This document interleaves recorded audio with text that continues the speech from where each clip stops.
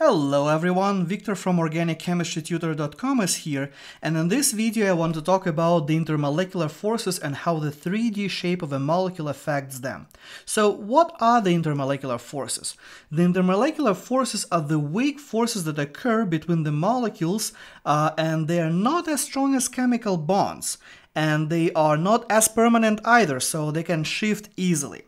So the first intermolecular force I want to talk about is the London dispersion force.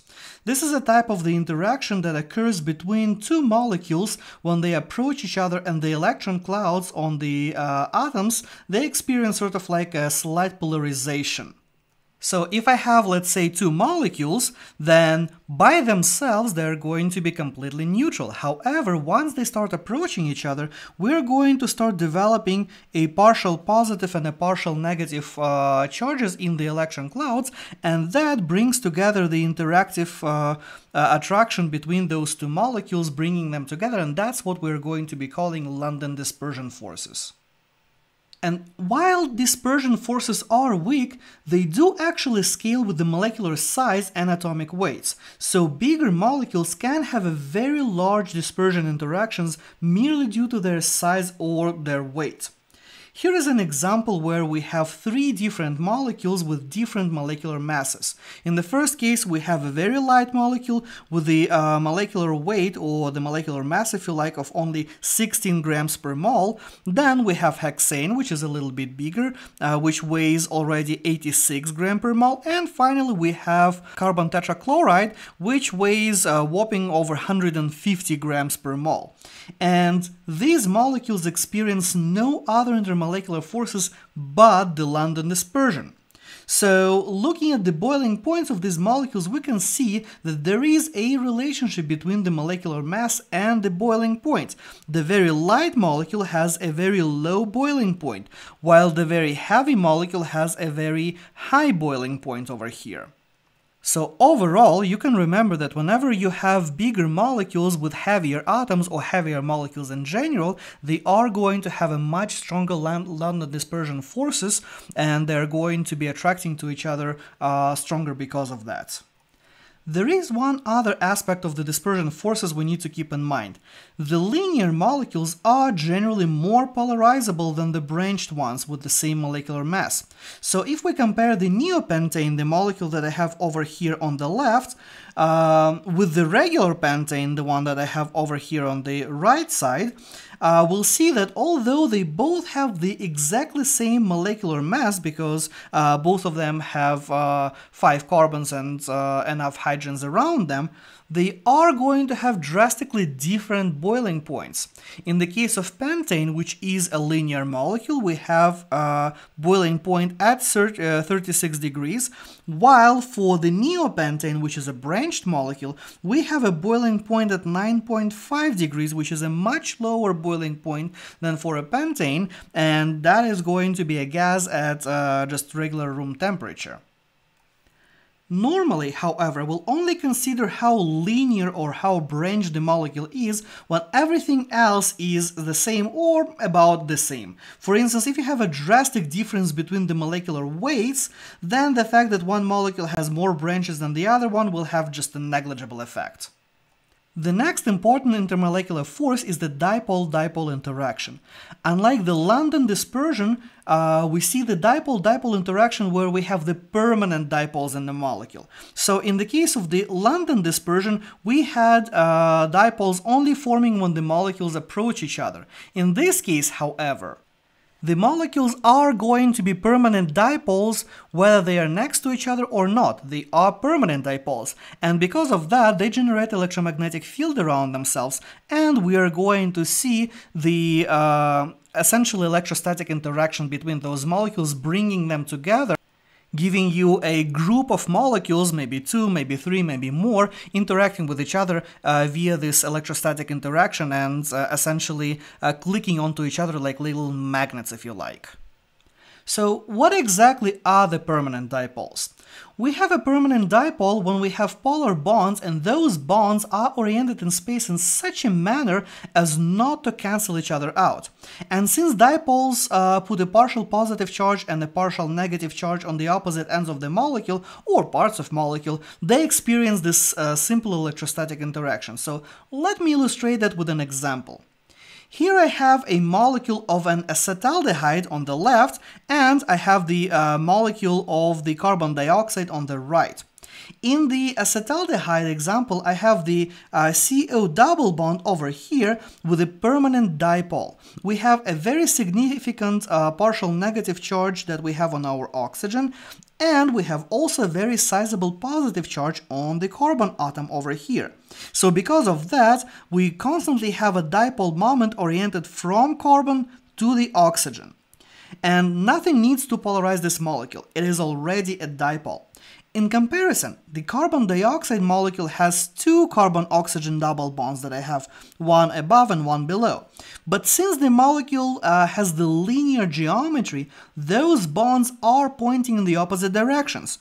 So while we have a significant minus charge on each of the oxygens, and we have a significant positive charge on the carbon, they cancel each other out, so overall the molecule is going to be uh, nonpolar. And we see that uh, difference uh, showing in the uh, boiling points right away. For the acetaldehyde, we have a boiling point of 20 degrees, while the carbon dioxide, as we know, it's a gas at a room temperature and it sublimes already at negative 78 degrees. So here is another interesting example that we commonly see on the exams. We have three molecules here with an increasing number of uh, carbon-chlorine bonds, and the carbon-chlorine bond is going to be a polar bond, so potentially uh, these molecules can be polar. But let's look at the structure of those molecules in 3D and see if they are in fact polar molecules or not. Here in the first case where we have our methane molecule, we have four carbon-hydrogen bonds and carbon-hydrogen bonds generally are not considered to be the polar bonds. That's why that molecule we can say that this is just a regular non-polar molecule. And as a nonpolar molecule, it is not going to show any kind of dipole-dipole uh, interactions. The second molecule has two carbon-chlorine bonds, and since the structure of the molecule is tetrahedral, the molecular geometry is tetrahedral, we are going to see the dipoles coming from carbon to chlorine, looking like this, giving you a overall non-zero dipole moment in this molecule oriented somewhere like that in this molecule. And finally, we have carbon tetrachloride, which has four carbon-chlorine bond. But in this case, what is uh, extremely important that again, due to the tetrahedral shape, all of those carbon-chlorine bonds, they are essentially going to be canceling each other. We have four dipole moments, and when those dipole moments all sum up, the overall dipole is going to be zero which means that our carbon tetrachloride is also going to be a nonpolar molecule which means that only the uh, dichloromethane that we have in the middle going to be the only polar molecule and that's going to be the only molecule that can have dipole-dipole interactions uh, out of these three examples.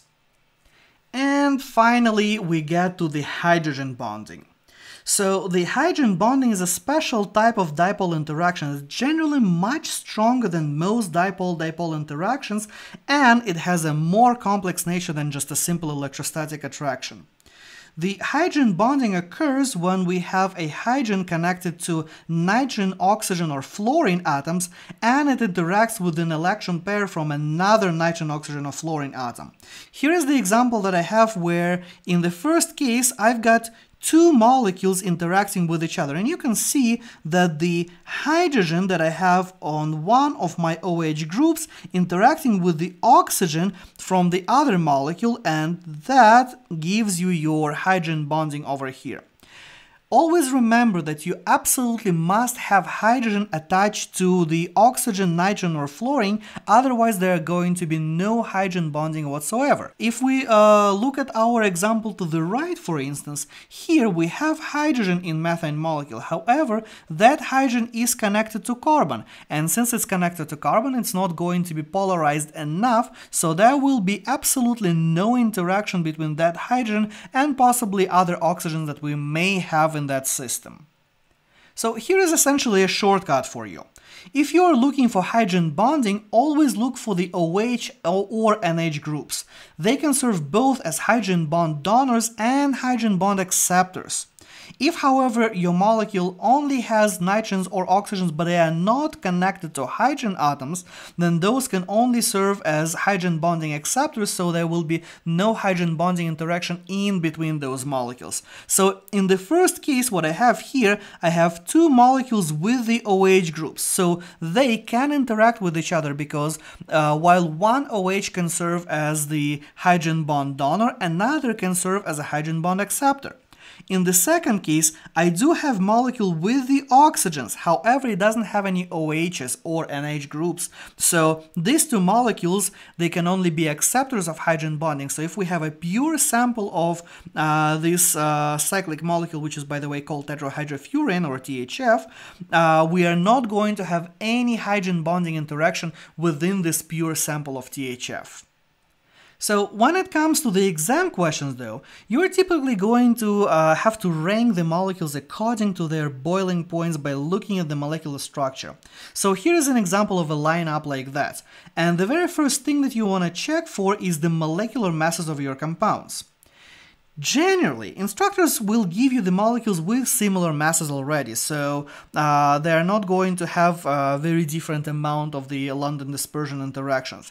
However, I have seen a few examples where instructors threw a mean curved ball at students by giving them a completely non-polar yet massive molecule, uh, which ended up uh, with the highest boiling point. So always double check, you know, just in case.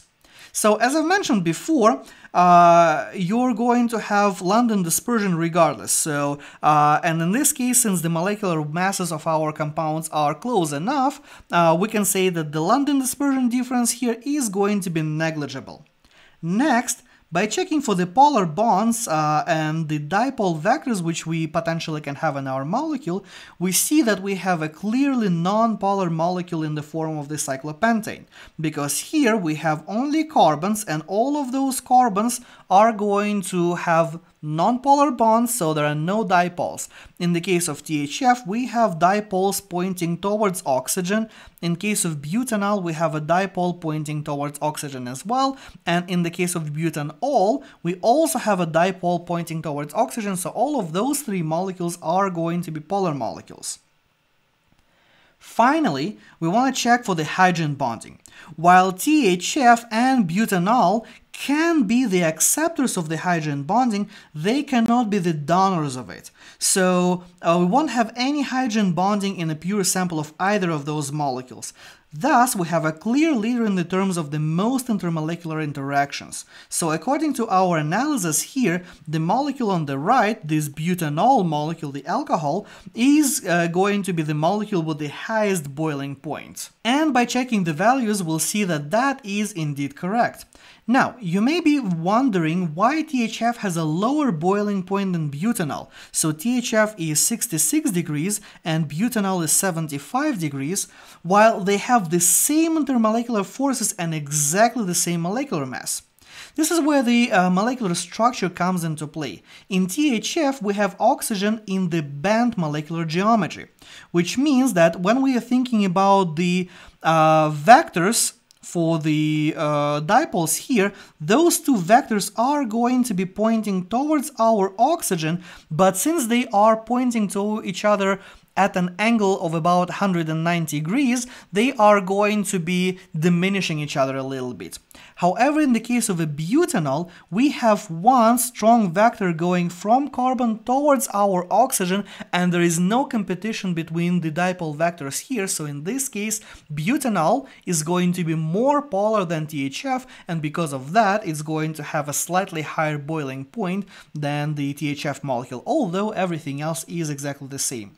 So like with many types of questions and material in organic chemistry, practice makes it perfect here. So make sure you work through a few of those ranking problems to get the skill ready for the next test or exam. And as always, thank you for watching and if you like this tutorial, please tell your friends and classmates and I'll see you next time.